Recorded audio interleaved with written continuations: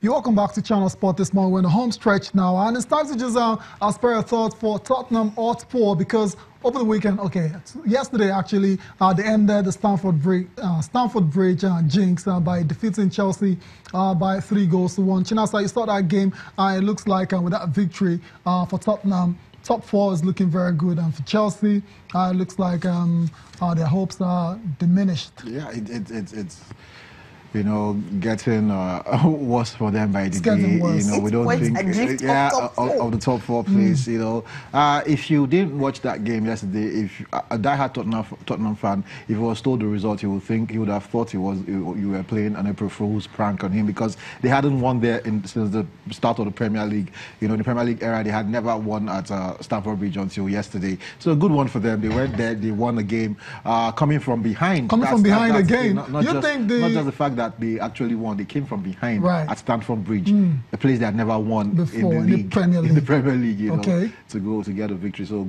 sweet one for them. And also Dele Alli, who hasn't, who hadn't, who had scored just one goal in 17 games. What a yeah. Proud to this, you know, scoring two in four minutes. Mm. Good one for Tottenham. Good one for Tottenham. And um, expectedly, uh, when you you know uh, get this kind of sweet victories, yeah. the players are quick to go to social media. If you lose, uh, they forget their phone somewhere. But if they win, uh, they go to social media. And, yeah. that's the guy there. 28 years since we've beaten Chelsea at Stamford Bridge. It was really a good one for them because he contributed two goals Absolutely, there. Absolutely. This one coming from uh, Jean Vertonghen. Saying unbelievable.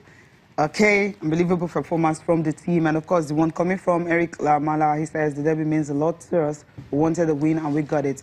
Come on, three point deserved. They've come close a couple of times. Christian Eriksen, who Christian Eriksen, scored that stunner. Fantastic Come back goal. and yeah. a deserved but win. For, yeah, I know your goalkeeper union and stuff like that. You don't want to blame the goalie. Uh, that ball was straight down the middle. Yeah. should have done better. It was yeah. swerving. You know, it was the way it was. It was. The, it was the swerve on the ball. That, okay. that was that deceived him, right? The goalkeeper. Yeah. Okay, so that's the four uh, for Tottenham and beating Chelsea. Let's quickly run through the NBA uh, uh, NBA action uh, from early this morning. Some very interesting results are involving Nigerian players uh, in action. Uh, Al-Farouq Aminu had a very good game for his team. the Blazers they defeated the Memphis Grizzlies 113-98. There were also wins for the Indiana Pacers, uh, the San Antonio Spurs, Cleveland Cavaliers, OKC Thunder. Uh, the Warriors also won on the night.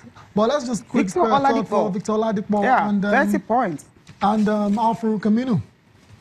30 yeah, points. Uh, Victor Oladipo is having a breakout season. Mm. Uh, he left uh, OKC and went to uh, Pacers. We a lot of people felt uh, why did he make that move, but you can see now he's the man at. He's the main man, and they're playing really well. You know, he's getting uh, uh, fantastic game time and doing really well for his team. So mm. uh, Al-Farouq Aminu too, contributing uh, for his Portland. team, and and it, it's it's really good seeing these guys, but.